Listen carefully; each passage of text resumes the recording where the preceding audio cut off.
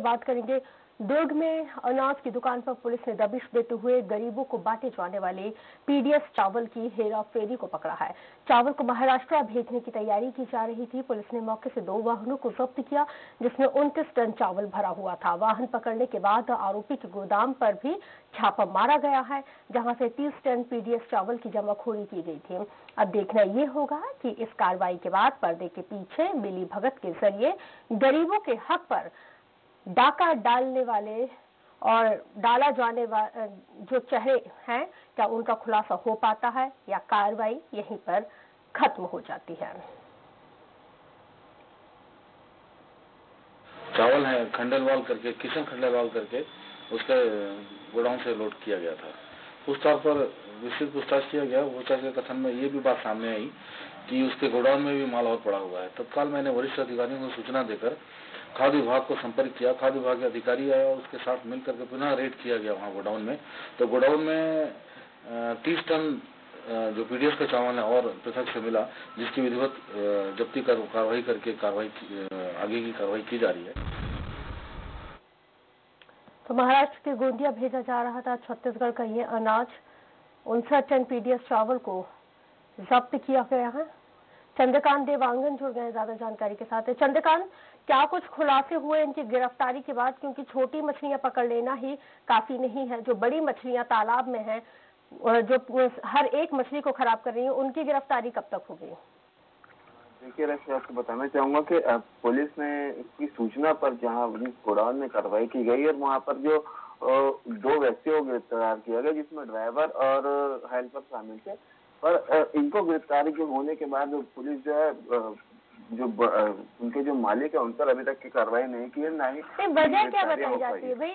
ये तो मतलब कर्मचारी हैं तो ये तो चतुर्थ श्रेणी के कर्मचारी हो जाते हैं ड्राइवर और क्लीनर। इनको तो जो बताया जाएगा कि भाई आपको यहाँ पे यहाँ से आपको चावल लोड करना है यहाँ से आपको खाद्यान्न लोड करना है और यहाँ पे आपको डंपिंग करना है तो जिस जगह डंप आउट करना है इनको जितना आदेश दिया जाएगा वो उतना ही आदेश का पालन करेंगे।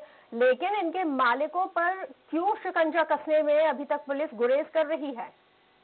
हाँ, देखिए पुलिस का कहना है कि अभी इस कार्रवाई को करने के बाद पुलिस ने खाद्य विभाग को ये सारी अग्रिम कार्रवाई के लिए भेजा है जिसमें खाद्य विभाग की तरफ़ से ये भी जाँच होकर पूरी तरह से वो सामने आ गया है कि जो माल गाड़ी में लोड किया जा रहा था हाँ। ये पीडीएस का ही चावल था गरीबों को बांटा जाना वाला ये खाद्य विभाग की तरफ़ से क्लियर हो गया कि पीडीएस का चावल था जी निश्चित तौर पर अधिकारियों ने कल कल शाम देर शाम इस बात की सूचना दी है जो खाद्य विभाग के जो अधिकारी होते हैं हाँ।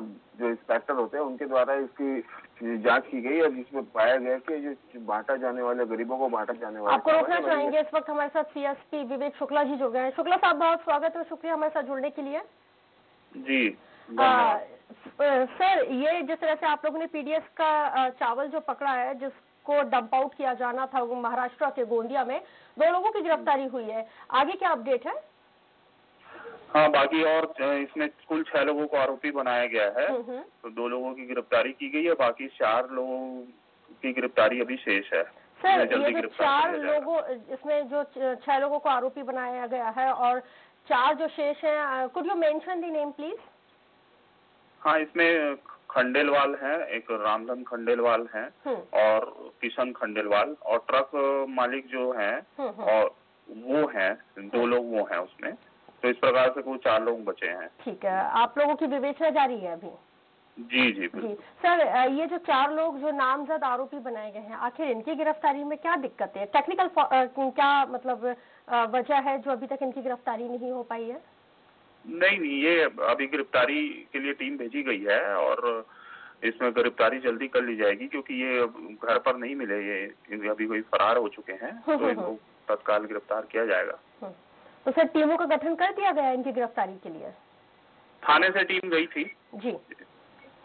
ठीक है। तो सर माइट भी पॉसिबल कब तक ये गिरफ्तारी हो पाएगी? जल्द ही गिरफ्तारी होगी और जो भी गिरफ्तारी करने की आवश्यक इसमें कदम उठाने हैं वो कदम उठाए गए हैं हाँ, हाँ। जल्दी गिरफ्तारी हो जाएगी। सर सरकार क्योंकि सरकारी संपत्ति है और सरकारी संपत्ति की कालाबाजारी को लेकर किन धाराओं में मुकदमा दर्ज किया गया एक बार आप थोड़ी सी जानकारी दे देते। आवश्यक वस्तु अधिनियम के तहत इसमें कार्रवाई की गई है। हाँ। और जिसमें धारा तीन और सात इसमें लगाया गया है। हम्म, हम्म। जी। जी। चलिए, बहुत शुक्रिया हमारे साथ बातचीत करने के लिए। देवांगन भी हमारे साथ जुड़े हुए तो उनका भी शुक्रिया तमाम जानकारी के लिए।